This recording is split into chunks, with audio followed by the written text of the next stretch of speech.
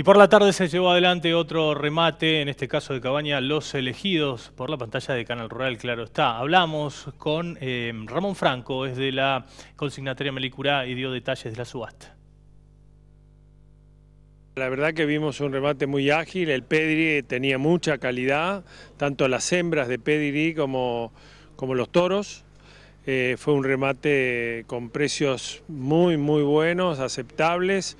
Hubo una, una hembra de pedigree que pasó el millón de pesos y después hubo muchos, muchas hembras en 500, 570, 600 mil pesos. Los toros también hubo los más importantes, hicieron valores muy destacables. Y después el puro controlado estuvo dentro de los valores normales, eh, digamos, eh, las cabañas tuvieron bastante problema en la época de la preparación de los toros, hubo una época de lluvias en, el otoño, ¿no es cierto? Y aparte todo este tema de la pandemia, que siempre marzo, abril, mayo complicó un poquito para la presentación de los toros, pero se vendieron dentro de los valores razonables.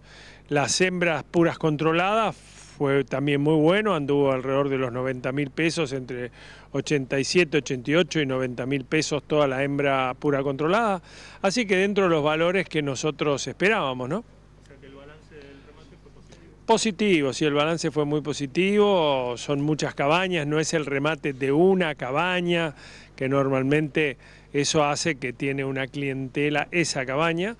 Esto es un remate de donde se eligen todos los, animales de pedigree, pero hay compradores eh, para buscar esa sangre, ¿no? Mucha calidad había.